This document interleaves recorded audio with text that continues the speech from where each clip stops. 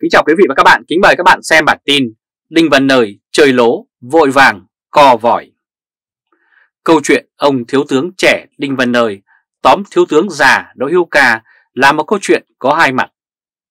Mặt phải là chiến tích lừng lẫy của ông tướng trẻ Trong đó ông Nơi thể hiện là người dám nói, dám làm. Ông nói là tôi lựa ai quen lớn, tôi bắt trước.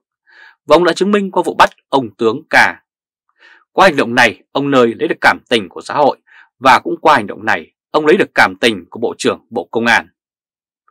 Tuy nhiên, hành động bắt một ông tướng trong lực lượng vũ trang, bắt một đảng viên Đảng Cộng sản trong lúc ông này còn thẻ đảng và còn quân tịch là cách làm sai quy trình của đảng. Cụ thể là nó sai với chỉ thị 15, vậy chỉ thị 15 nói gì ở trong đó? Vào ngày 22 tháng 2, ông đã bắt Đỗ Hữu Ca, chỉ thị 15 do Bộ Chính trị đưa ra vào ngày 7 tháng 7 năm 2007 quy định về sự lãnh đạo của Đảng đối với các cơ quan bảo vệ luật pháp trong công tác điều tra, xử lý và các vụ án về công tác bảo vệ Đảng. Chỉ thị này do ông Nông Đức Mạnh ký ban hành, nó là lá bùa để cho những quan chức lộng hành. Nó như là món quà ông Nông Đức Mạnh ban cho những người phục vụ chế độ. Chỉ thị này không được phổ biến, nó bị thượng lộ ra ngoài vào năm 2015 khi Thiếu tướng Phan Anh Minh Phó Giám đốc Sở Công an Thành phố Hồ Chí Minh phát biểu tại hội nghị tổng kết phòng chống tham nhũng lãng phí. Ông nói, các cơ quan bảo vệ pháp luật khi phát hiện có dấu hiệu đảng viên vi phạm đều phải báo cáo bằng văn bản với tổ chức của đảng, cấp ủy đảng quản lý trực tiếp đảng viên đó. Khi được tổ chức đảng cấp ủy xem xét, đồng ý cho điều tra, khởi tố vân vân thì cơ quan bảo vệ pháp luật mới được tiến hành các biện pháp tố tụng. Như vậy là hành động bắt của ông Đỗ Hữu Ca khi bị ông Đinh Văn Nơi đưa vào trại giam đã vi phạm chỉ thị này và vấn đề cũng được tờ Thể báo chấm đề đề cập một lần khi ông Nơi cho bắt nóng ông Đỗ Hữu Ca. Không biết ông Nơi có theo dõi Thời báo chấm đề hay không, nhưng lần này ông Nơi đã không phạm và sai lầm như lần trước. Đó là vào ngày 22 tháng 4, ông Đinh Văn Nơi cho khởi tố Phó trưởng ban tổ chức tỉnh Quảng Ninh Phạm Văn Thành. Chỉ cho khởi tố nhưng chưa cho bắt giam với ông Phạm Văn Thành đang là đảng viên Đảng Cộng sản. Ông này chưa bị khai trừ ra khỏi đảng. Đến ngày 13 tháng 4 mới khai trừ đảng ông Đỗ Hữu Ca. Việc bắt một đảng viên hàng tép diêu thì không cần chờ khai trừ, người đã ra khỏi đảng rồi mới bắt, vì tép diêu có dãy ruộng đến mấy cũng không thể gây động nước, nhưng bắt con tôm hùm thì lại khác. Tôm hùm và dãy ruộng thì nó mạnh không thua gì sức mạnh của con cá lóc vậy. Trường hợp ông Phạm Văn Thành là quan chức cấp tỉnh, không phải muốn bắt là bắt. Có vẻ như ông Đinh Văn Nơi đã rụt được bài học kinh nghiệm cho mình. Thực ra ông Đinh Văn Nơi hăng quá mà quên mất bài học của cựu giám đốc công an tỉnh Tiền Giang, tướng Nguyễn Việt Thành. Ông Thành cao hứng tóm sạch dây mờ dễ má của nhóm 5 Cam và tóm luôn của hàng loạt quan chức công an thành phố Hồ Chí Minh mà không làm theo quy trình của chỉ thị 15. Vì vậy, sau khi nhóm chính trị thất thế lấy lại sức mạnh ông Nguyễn Việt Thành đã bị đá ra rìa và buộc phải về hưu sớm. Không tống được ông Nguyễn Việt Thành vào tù vì ông là người có công lao lớn, tống vào tù thì lại rắc rối to. Trường hợp tướng Nguyễn Việt Thành là bài học cho ông linh Văn Nơi. Ông linh Văn Nơi chưa lập được công trạng lớn như ông Nguyễn Việt Thành bởi những vụ án ông Nơi phá cũng là án lớn gây tiếng vàng nhưng cộng tất cả các vụ án đó lại cũng chưa lớn bằng vụ án Năm Cam. Ấy vậy mà khi thời thế thay đổi, ông Thành còn bị quật đổ. Hiện nay ông Nơi được ông Tô Lâm bảo kê, mà ông Tô Lâm có ông Tổng lại bảo kê. Nếu 3 năm nữa ông Tô Lâm về vườn và nhóm Hưng Yên thất bại ở Bộ Công an thì sao đây? Lúc đó rất có thể những hành động xé rào của ông Nơi là thứ mà kẻ thù của ông sẽ đảo sới trở lại. Quý vị và các bạn vừa theo dõi chương trình truyền hình trực tiếp với bản tin Đinh Văn Nơi trời lố, vội vàng, co vòi. Quý vị và các bạn hãy chia sẻ video này cho nhiều người biết và bấm nút theo dõi YouTube và Facebook của Thời báo .d để luôn được cập nhật những bản tin mới nhất, nhanh nhất và trung thực nhất.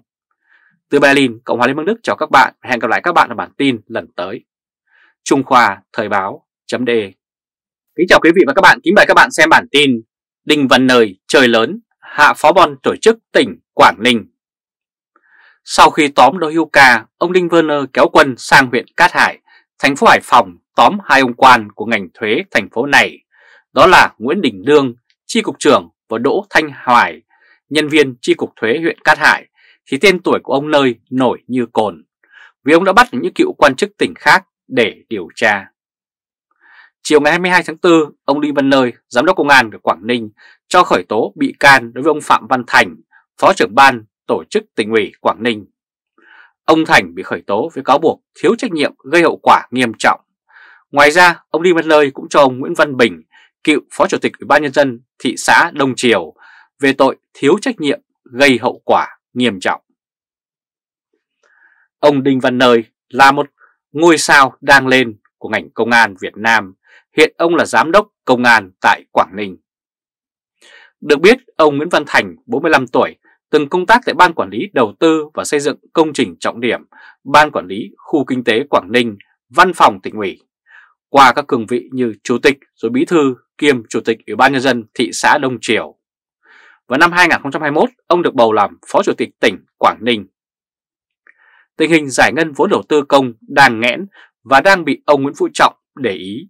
Ngay trong chính phủ thì bản thân ông Thủ tướng Việt Nam Phạm Minh Chính cũng dối rít tìm cách khai thông nguồn vốn đầu tư công. Tình hình những ngày tháng tới đây, vấn đề giải ngân vốn đầu tư công được đẩy lên ngày một căng thẳng nếu ông Phạm Minh Chính giải quyết không xong.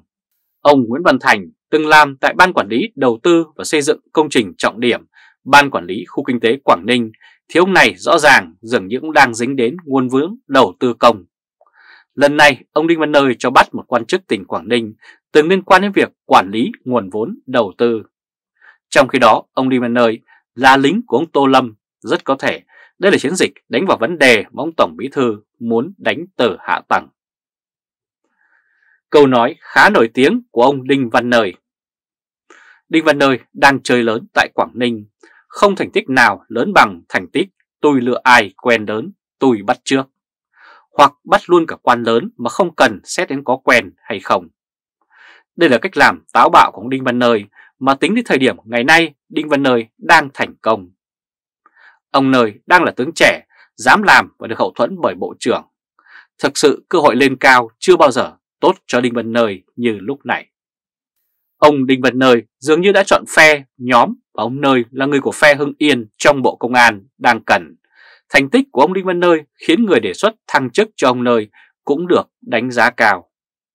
Tuy nhiên, trò chơi chính trị là con dao hai lưỡi, đôi khi nó rất tiện ích trong vai trò công cụ nhưng nó cũng rất dễ đứt tay, chỉ có những người đứng sau mới hiểu vấn đề.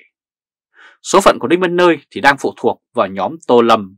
Khi Tô Lâm về hưu mà Lương Tam Quang hay Nguyễn Duy Ngọc thay thế thì rất có lợi cho ông Nơi.